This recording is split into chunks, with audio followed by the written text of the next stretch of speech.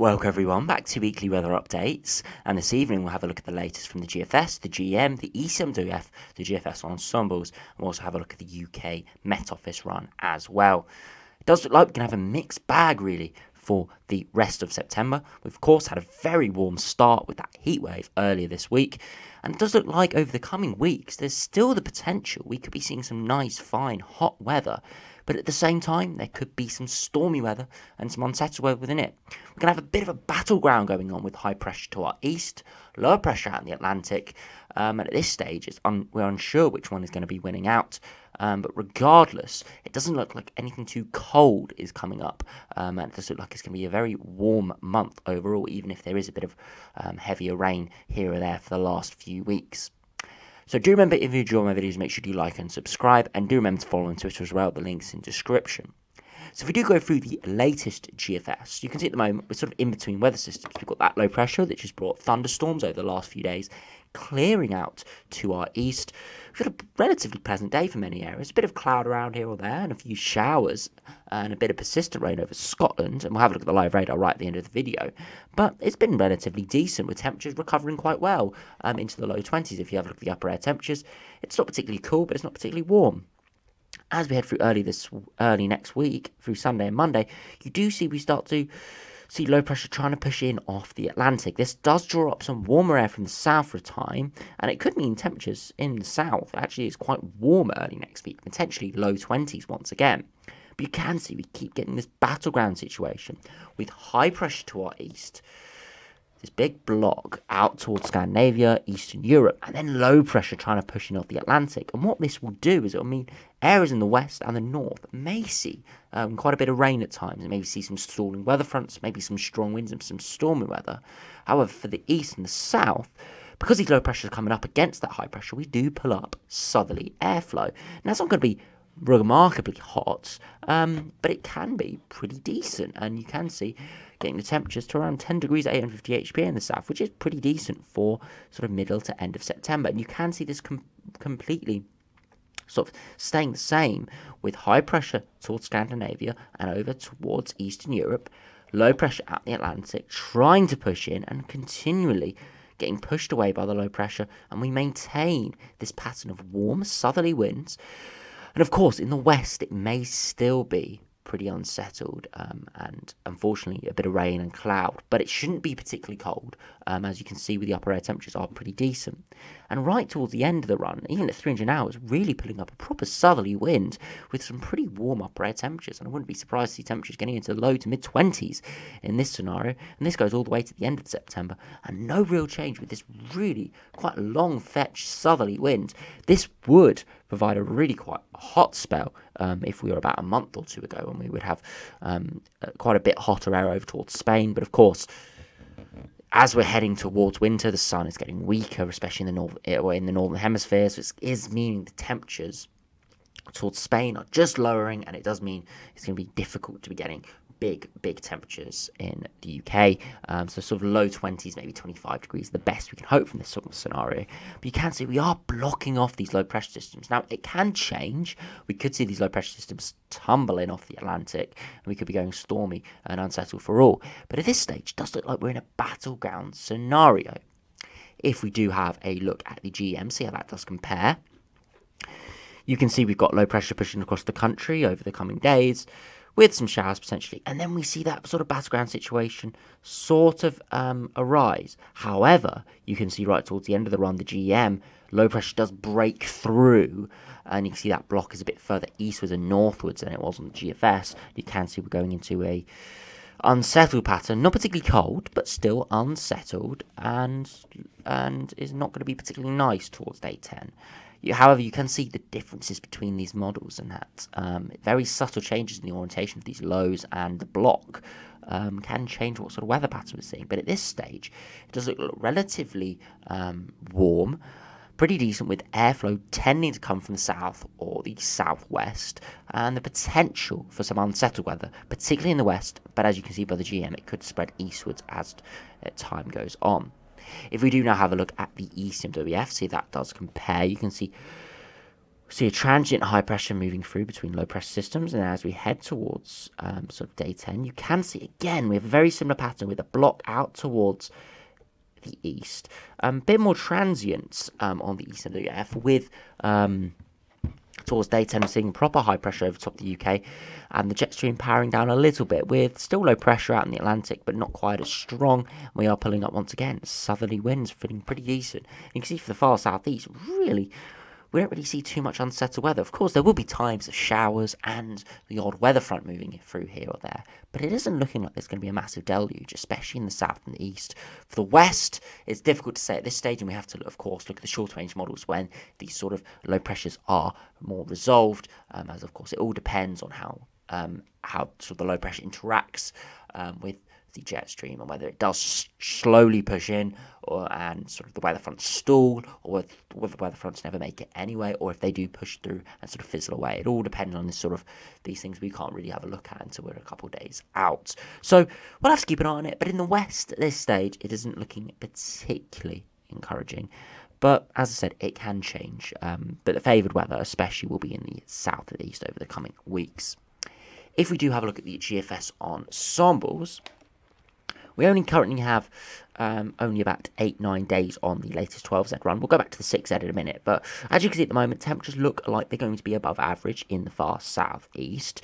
We can see it does look like generally things are going to be um, pretty pretty decent, I must say. Um, in terms of temperatures. You can see there is some precipitation coming through early this week as we see a trough move through, and there's continual shower risk. But you you can see above average temperatures, a lower than average, I'd really say, uh, shower uh, risk, because we can have real deluges this time of year. It's going to be decent um, in the south and the southeast. If we do have a look at the 6Z run, you can see generally in the longer term we are above average in terms of temperatures, at least to around the 20th of September. It's looking pretty concrete. We're going to be above average. And you can see there is precipitation around, of course, but there's no massive deluges at this stage. Um, it looks a bit on and off, and in the longer term, there is more precipitation spikes and there is more deviation within the ensembles in terms of temperatures, but it's still it is looking not too bad for September. If we do have a look at the mean sea level pressure, you can see generally for the far southeast, around 1020 millibars, which is a weak area of high pressure. Um, so it shouldn't be too bad in the far southeast. Should be pretty decent, really, um, with pretty nice, um, nice conditions potentially. With um, with some hotter weather potentially getting into low 20s when we do see sunshine um, or even probably mid 20s as well. You can see in the longer term, though, there are some deeper lows trying to push in on some of the ensembles. And of course, there's always that risk towards the last week of September. So it is too far, really, at this stage to make any concrete forecast on it. But for the next sort of 10 days, it is looking pretty, pretty decent. If we do have a look at Glasgow, have a look at how that does compare you can see for the 12Z run at the 850 HPA temperature, generally around average, a bit up and down, and there is quite frequent precipitation spikes. No massive deluges really until around 17th, 18th of September, but a lot of small precipitation spikes, so a lot of showers um, coming in for Scotland, and up and down temperatures symbolic of sort of a, a westerly sort of flow um, with cooler and warm fronts moving through. If we go back to the 6Z run and have a look at the 850 HPA uh, uh, and precipitation, you can see quite unsettled in the longer term. You can see a lot of precipitation spikes, quite considerably more than we saw in London. You can see still temperatures are above average, so it does look like it will probably be coming out as a warmer than average month.